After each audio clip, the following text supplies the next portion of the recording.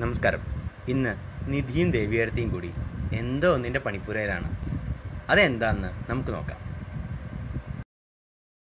നമസ്കാരം. ഈ ലോക്ക്ഡൗൺ കാലത്ത് ഞങ്ങളുടെ സ്പെഷ്യൽ എന്ന് പറഞ്ഞ ഒരു റവ ലഡുവാണ് ഉണ്ടാക്കുന്നത് ഞാനും ദേവിയടുത്തേയും കൂടിയിട്ടാണ് ഈ റവ ലഡു ഉണ്ടാക്കുന്നത് അപ്പൊ അതിന് വേണ്ടത് എന്താ നമുക്ക് നോക്കാം. ആദ്യം വേണ്ടത് എന്താ? റവയാണ്.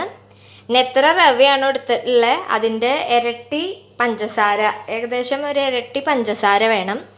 പിന്നെ നെയ്യ് വേണം കുറച്ച് പാൽ വേണം നാളികേരം വേണം ഉണക്കമുന്തിരി അണ്ടിപ്പരിപ്പ് ഏലക്കായ.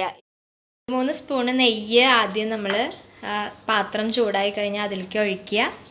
എന്നിട്ട് അതിൽ ഈ മുന്തിരി മുന്തിരി നല്ലോണം വറുത്തെടുക്കുക. ആദ്യം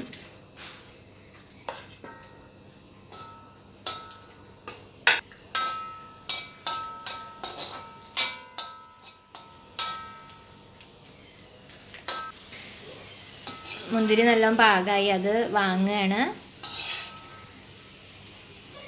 ഇനി കുറച്ചും കൂടി നെയ്യ് ഒഴിക്കുക അതിലേക്ക് മുന്തിരി വാങ്ങി വെച്ചതിലേക്ക് എന്നിട്ട് അതിലേക്ക് നമ്മൾ ഈ വെച്ചിട്ടുള്ള റവ റവ നല്ലോണം ചൂടാവണം. അത് നമ്മൾ ആ നെയ്യിലേക്ക് ഇട്ടു. ഇനി റവ നല്ലോണം വറക്കണം.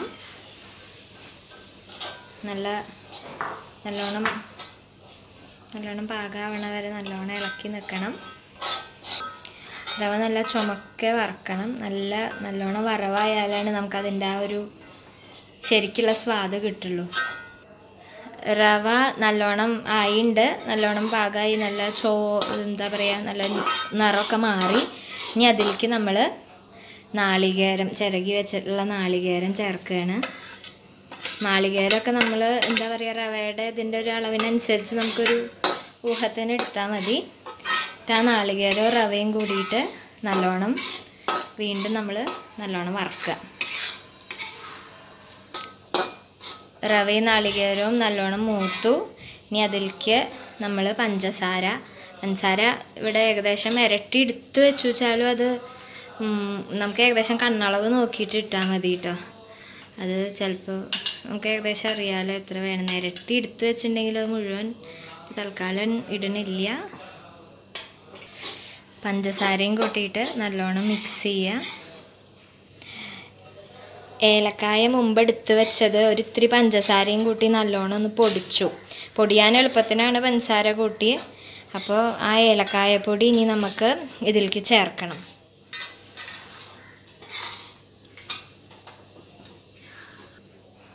ഏലക്കായപ്പൊടി ഇതിലേക്ക് ചേർക്കുകയാണ്.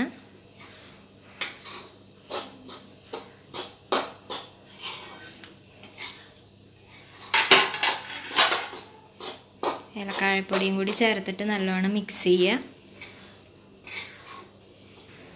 പഞ്ചസാര ഒന്ന് അതിൽ കിടന്നൊന്ന് ഒന്ന് അലിഞ്ഞ ഒന്ന് മെൽട്ടായി കഴിഞ്ഞാൽ എല്ലാം കൂടി ഒരു യോജിപ്പായാൽ നമുക്കിത് പിന്നെ വാങ്ങി വെക്കാം.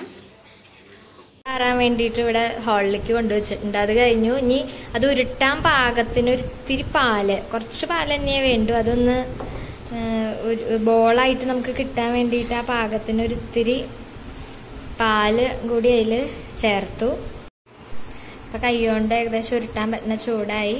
അപ്പോൾ ഒരു ഏകദേശം നമുക്ക് ലഡുവിന്റെ വലുപ്പത്തിൽ വലുതായിട്ടോ ചെറുതായിട്ടോ എങ്ങനെയാ വെച്ചാൽ അതിങ്ങനെ ഉരുട്ടുക.